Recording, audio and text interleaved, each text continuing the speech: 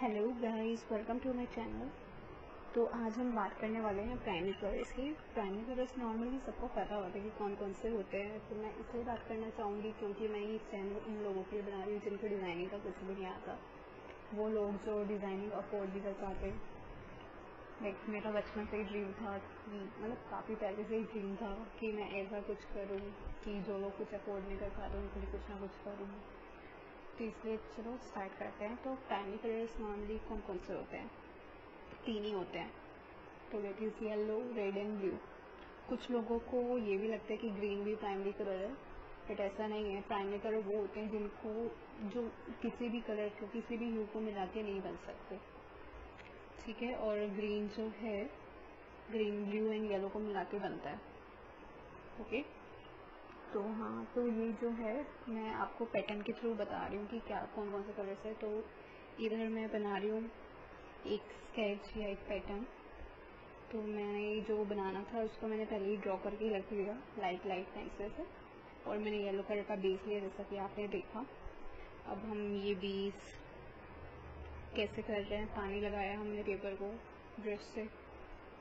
हम पहले वाटर का यूज़ इसलिए करते हैं मतलब बेसिकली हम वाटर कलर में ऐसा यूज़ करते हैं बट मैंने पोस्टर यूज़ किए हैं तो वो मैंने इसलिए किए ताकि ईजिली स्प्रेड हो जाए कलर और जो मैंने कलर यूज़ किए हैं मीडियम तो है पोस्टर कलर्स और कलर येलो जो है वो है chrome yellow zero eighty six blue है cobalt blue zero fifty six and जो रेड कलर है वो है poster red three forty seven तो मैंने ये फ्लावर बनाया तो सबसे पहले मैंने क्या किया कि ये जो फ्लावर का है, ये जो आप रेड देख रहे हो, सबसे पहले मैंने इसकी आउटलाइन की, वो भी राउंड ब्रश यूज़ किया।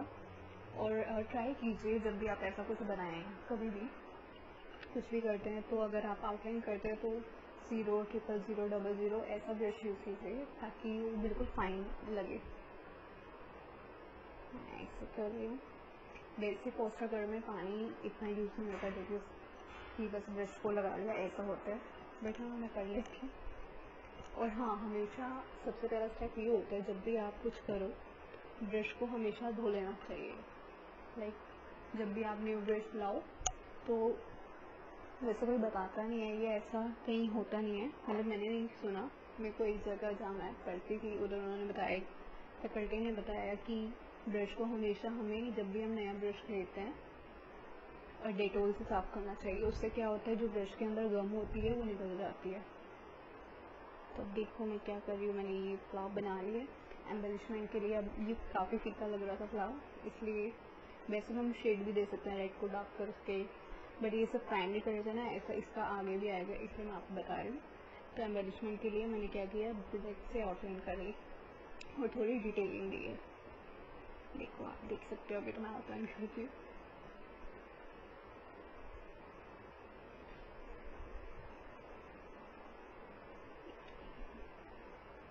ये फूल पत्तियाँ इनको डिटेल कर दीजिए। इससे मतलब काफ़ी काफ़ी अच्छा लगेगा।